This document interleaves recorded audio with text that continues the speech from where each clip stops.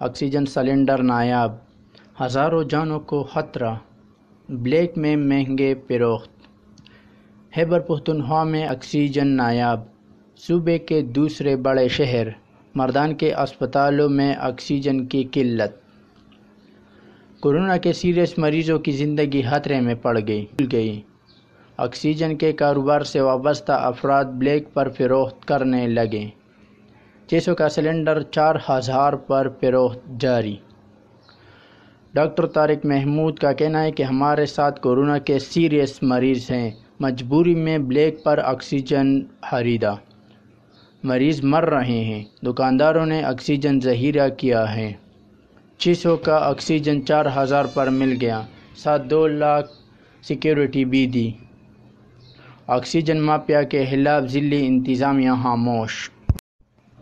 Peoples party के खातून रुबीना खालिद ने कहा है कि पूरे के पी के में ऑक्सीजन नायाब हो चुकी है।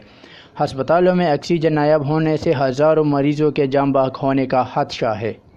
हुकूमत की नााहली ने सूबे में शदीद मुश्किल पैदा कर दी है। इन हालात में हंगामी इकदाम की ज़रूरत है।